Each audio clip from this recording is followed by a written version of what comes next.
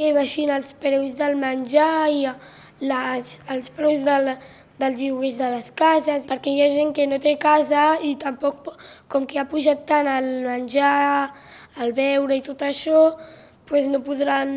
comprar, amb tants pocs diners no podran comprar menjar ni beure.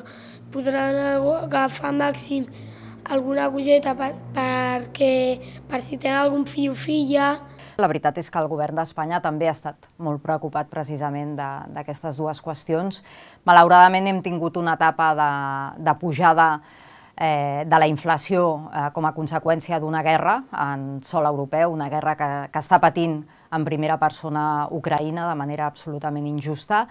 i, i s'han produït moltes polítiques i s'han aprovat moltíssimes polítiques per intentar que aquesta inflació baixés i han donat resultat. També s'han reduït i s'han eliminat eh, l'IVA de molts d'aquests aliments per intentar donar facilitat eh, a molts ciutadans i ciutadanes que els hi costa efectivament eh, comprar eh, el mateix que compraven abans d'aquesta guerra i també s'ha aprovat per primera vegada a la nostra història eh, una llei de l'habitatge eh, per part de, de l'Estat. A les escoles ens agradaria que parlessin molt més català. Pues dient a les profes que parlessin català sempre i que no canviessin molt d'idioma. La meva mare no és d'aquí, així que a casa no parlem català, parlem castellà. Dir-li a les directores i això perquè facin una organització de parlar sempre català i que les classes pues, que estigui tothom acostumat a ser. Jo el que puc dir és que estic bastant orgullosa de l'acord que es va arribar justament eh, fa relativament poc al Parlament de Catalunya,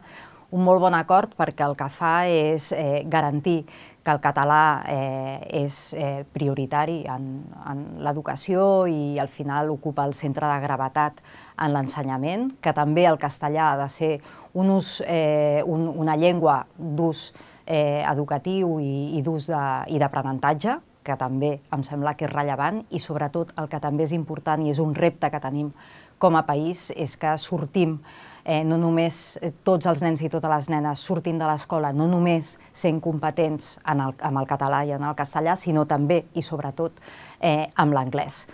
I dit sigui de pas, eh, si alguna cosa em preocupa del sistema educatiu eh, són aquestes xifres, aquestes dades que han sortit també que a Catalunya estem a la cua en comprensió lectora dels nostres nens i les nostres nenes. Eh, jo crec que l'èmfasi i, i el problema eh, que tenim en aquest, en aquest sentit eh, l'hauríem de resoldre i per tant eh, espero que la Generalitat de Catalunya i el Govern de la Generalitat eh, hi posi molt èmfasi perquè d'això sí que en depèn eh, el futur dels nostres fills i les nostres filles.